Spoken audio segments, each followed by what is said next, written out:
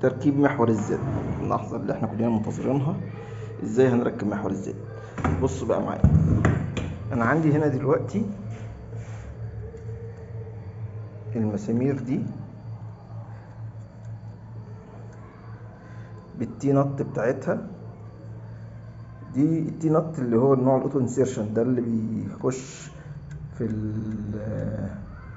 في القطاع بشكل مباشر. ثانية واحدة. اللي هو أنا عندي النوعين دول. ده اللي هو ال T-nut العادي. وده اللي هو ال auto insertion. أظن كده وضحت الفرق. الف-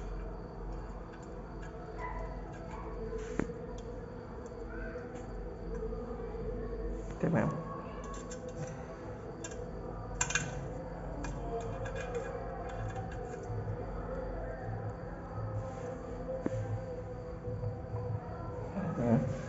إن ده لازم يخش والقطاع متركبش لسه.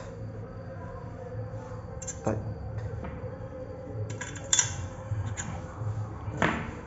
فأنا دلوقتي عندي أربع مسامير عليهم ال T-nut اللي هي اللي بيحصل لها insertion عادي.